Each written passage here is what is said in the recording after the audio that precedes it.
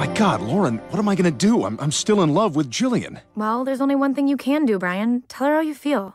What's the use? It's over. She's moved on. Well, who knows? Women are complex creatures, Brian. Maybe she just needs to be reminded how much she misses you. And I know exactly how to do that, Brian. She needs to see you on the arm of a beautiful woman.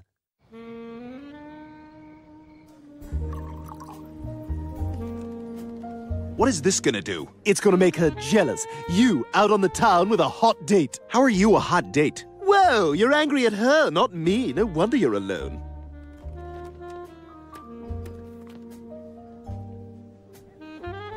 This isn't working at all. She doesn't even know we're here. Oh, she will, Brian, and she's gonna be upset that your date is so into you. Okay, ready? I've been reading up on things that sound sexy. Oh, Brian, I can't wait till after dinner, because then we'll go home and you can watch me have my period. What the hell's wrong with you? That's not sexy. Hey, Brian. I just noticed you over here. Hi, I'm Jillian. Desiree, charm. Well, I wish we could stay, but we have quite an exciting evening planned. Uh, oh, oh yeah, right. We're really hitting the town. Yes, we're gonna douche the night away. Uh, well, have fun. You two are a really cute couple. Hey, Desiree. Oh, hey, Lee. Brian, this is Lee. Lee, this is Brian. I know Lee from Starbucks. Hey, is that Desiree?